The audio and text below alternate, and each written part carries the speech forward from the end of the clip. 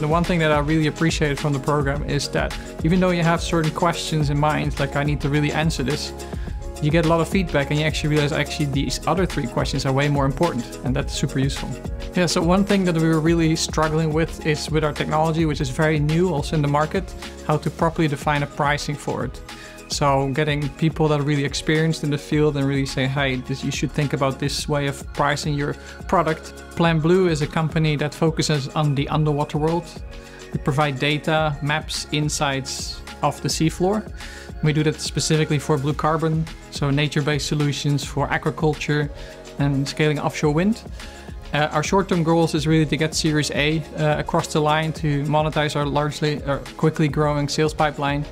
Uh, and the long-term goal, we really want to present ourselves as thought leaders in the field to really enable the seafloor to be used in an economical and ecological way. And for that, we really lack data, and this is one of the key aspects that we provide.